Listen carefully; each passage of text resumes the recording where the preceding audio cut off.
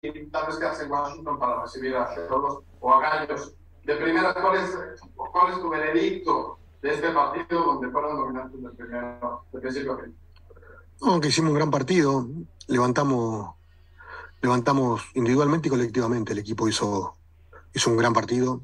Eh, sabíamos que no había mañana y realmente el equipo se comportó a la altura.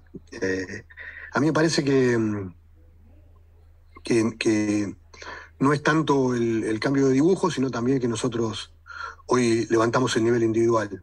Eh, creo que el equipo está capacitado para jugar con cuatro, con cinco, con tres volantes, con dos, con un centro delantero, con extremo. Estamos trabajados de esa manera. A veces no sale, otras veces sí, pero hoy estamos convencidos que, que era de esa manera. Así que el equipo hoy hizo un gran partido.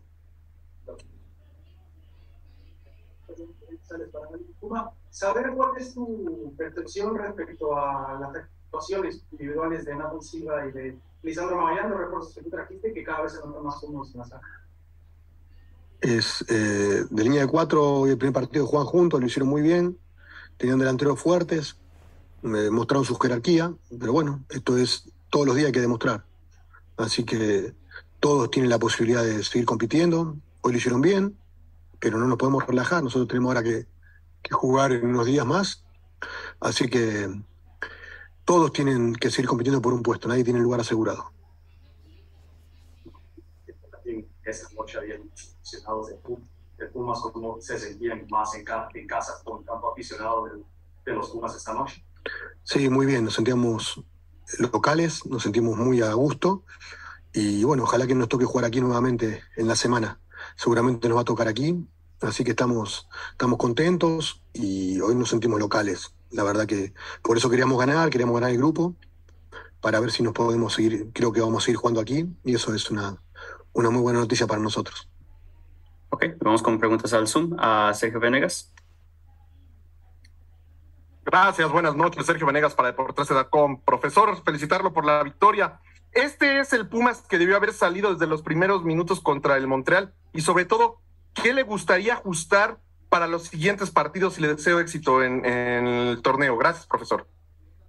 No, a ver, hacer un análisis de las situaciones. Nosotros hicimos una lectura que así el partido hoy y salió bien, el partido pasó, hicimos una lectura y salió mal, entonces hay que seguir insistiendo en que, en que tenemos que hacer una lectura de partido. Eh, hoy el equipo hizo una gran performance en todas las líneas, prácticamente no recibimos ningún disparo a gol y generamos varias, hicimos tres, pero no muchos más, entonces este es el camino. Más que nada, eh, en el tema de, de, convencimiento, de no, bajar, de no bajar los brazos, de dar ninguna pelota por perdida. Es el camino que tiene que tener el equipo y ojalá que sigamos con, con, ese, con ese mensaje. Okay, and we'll now go with uh, John Lupo. Thank you. Uh, Coach, just looking ahead to the next round, it's going to be either Querétaro or Tijuana. Do you feel like, while there's no easy games in this tournament, do you feel like that it's a little easier to play them because there's more familiarity because you know more about them than you would an MLS team? You play them more often? Traducímela. Pero en el próximo partido lo más seguro es, es más fácil porque ya hay una familiarización con esos, con esos equipos o cómo va a ser. No, no. A ver, nosotros con Tijuana jugamos hace un mes atrás. Eh, nos conocemos bastante. Con Querétaro también los conocemos, nos conocen, así que bueno.